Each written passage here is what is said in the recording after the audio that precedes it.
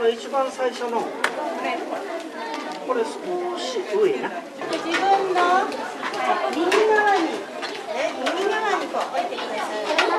それね海外人が進んだけ取って、下にね新聞紙を敷いてない人は。すずりに墨を出してつ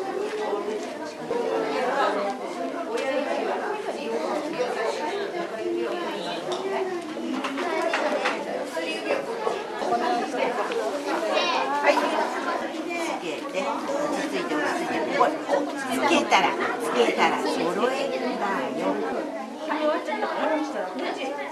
はいどう？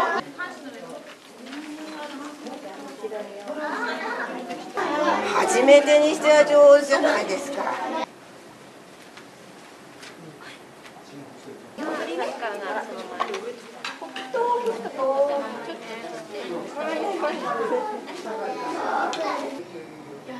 もっとスーッともこうね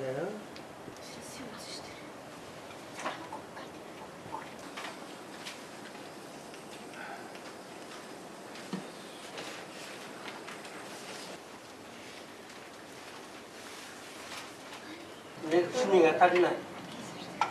墨が足りない。かすり、こんなにかすり気がダメだ。なんかよく。早いんだ、あんだ。うん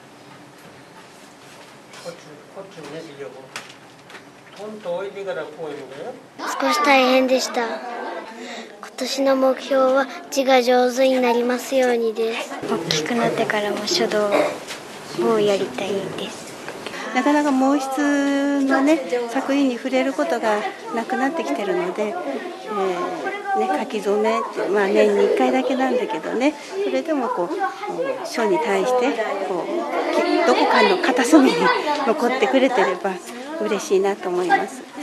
後輩たちが頑張ってね少しでも日本の文化をね育ててもらえたらいいね未来を切り開く子どもたちが、まあ、日本文化また行方市の良さをですね、えーできる限り多く知っていただいてそして大きく成長してもらいたい、えーそういう思いがああります。